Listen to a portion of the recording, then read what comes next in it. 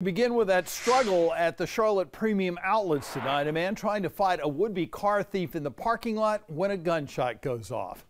Thank you so much for joining us here at WBTV News at 11. I'm John Carter in for Molly Grantham. And I'm Siobhan Bryan. Our crews were on scene just on the other side of the crime tape as police investigated in Steel Creek tonight. Reporter, reporter Erica Lunsford is joining us now live. So Erica, last check, the shooter is still on the run this evening.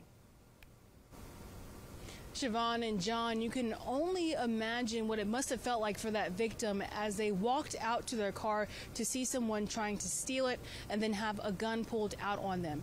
Shoppers I spoke to today tell me they were not here when it happened. They didn't see it, but they did tell me this is not what they expect when they come here.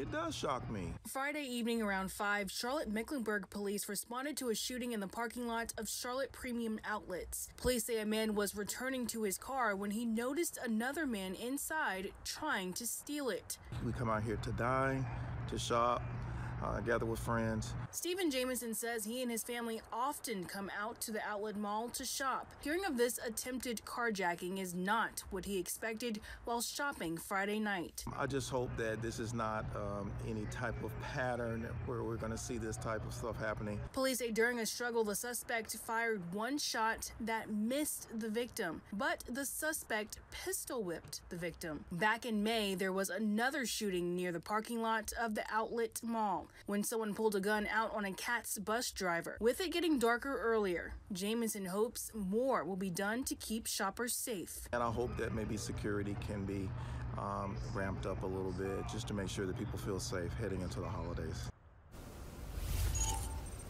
Police say at this time no arrests have been made, but they will continue to monitor the area. Reporting from Steel Creek, Erica Lunsford, WBTV on your side. All right, Erica, thank you so much.